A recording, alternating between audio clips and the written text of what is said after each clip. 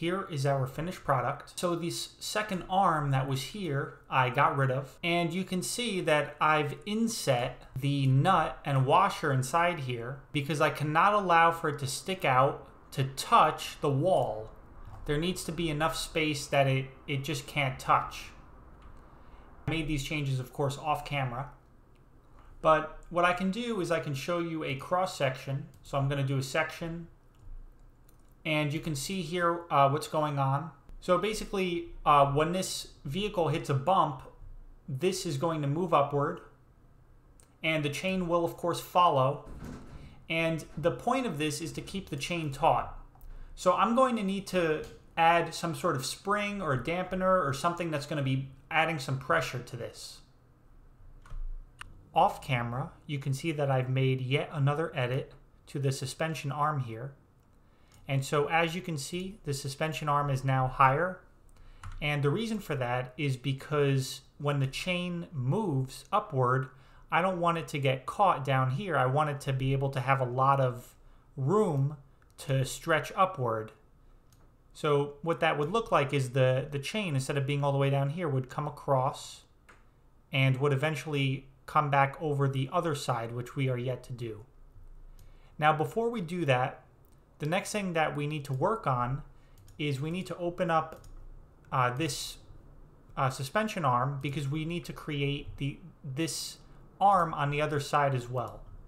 So what we're going to do is we're going to open up the spindle just on its own. And what we need to do is take a dimension. So what I'm going to do is set this to be visual style wireframe. And I'm going to place the wheel right here, right where I want it to be. And now I'm going to measure an angle between, let me get out of wireframe. I'm going to measure an angle between this bottom line, this angle right here, and that's going to be 116. So what we want to do is we want to create the same thing on the other side. So it's 116 uh, degree angle.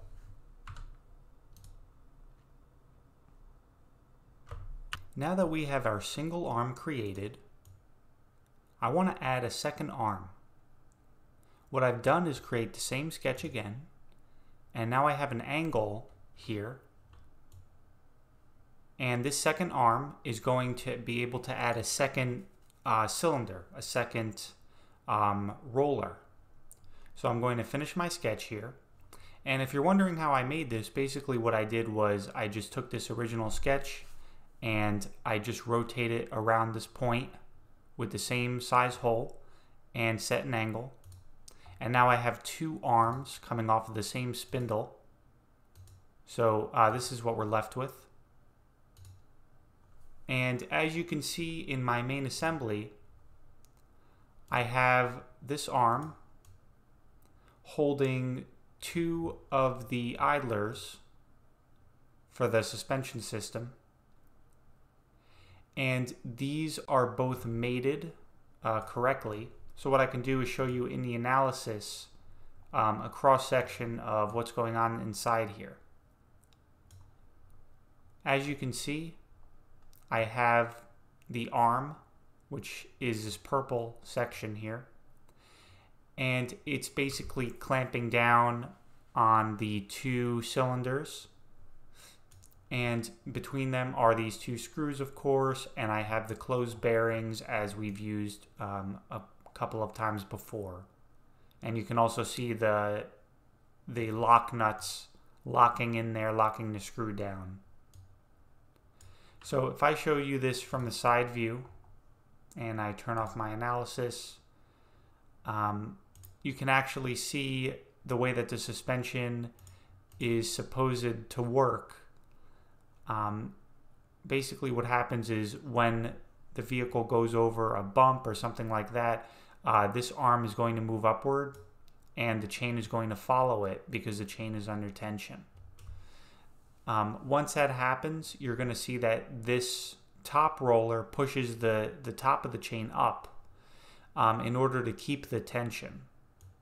So uh, basically, um, what you're doing in effect is you're allowing to have uh, tension on the chain no matter where um, no matter how high up this is when the when the tension is taken off of this area it's transferred to the top area of the chain so basically when this bottom part of the chain moves up this top part of the chain moves up as well now what we want to do is we want to add this to the other side and again, I'm actually, I'm not even sure if this method is going to work. I'm not 100% sure.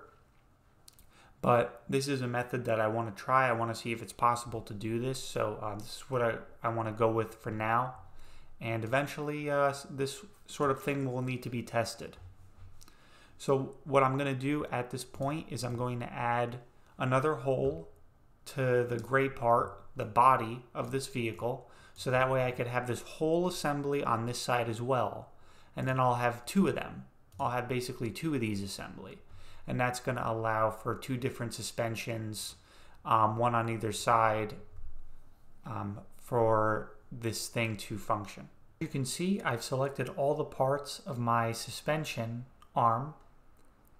And so what I want to do now is I want to basically copy and move this entire assembly. So I'm going to right click and copy. And when I paste,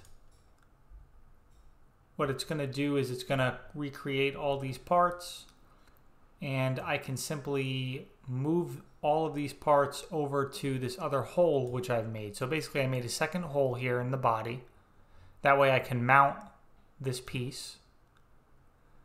So what we want to do is we want to place this um, as well as we can over the hole.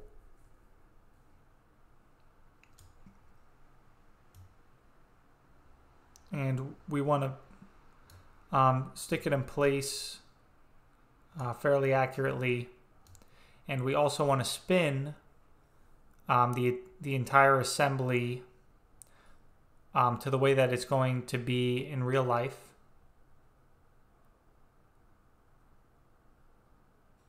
We're going to leave it like that.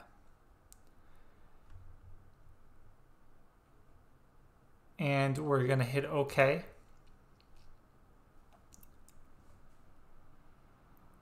And that is our suspension. So as you can see,